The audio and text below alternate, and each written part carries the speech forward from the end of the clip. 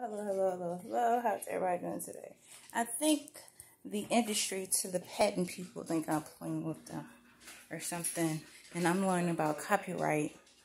Now, I've learned that there's a difference between copyright, a trademark, and a patent. Okay? So, um, then if it's like, well, what really is a good idea? Okay, so because I have so many ideas. I'm trying to just get it off of, off of me. Okay, so then I got a tablet from Amazon. And with the tablet, I created like 10 Gmail accounts. Okay, so then I was on Mr. Davidson page. And I didn't push the, when, you be, when they be like, contact us, I didn't push the first button, but I pushed the second button and the third button.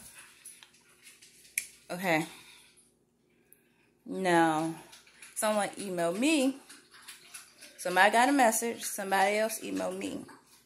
Okay, so then there's a process in which this goes. And maybe the process is not the process in which should be happening.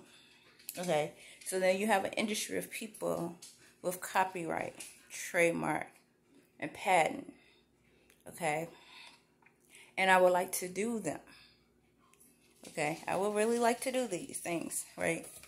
But if there's supposed to be a step one, a step two, and a step three with this, I would rather do the one, the two, and the three.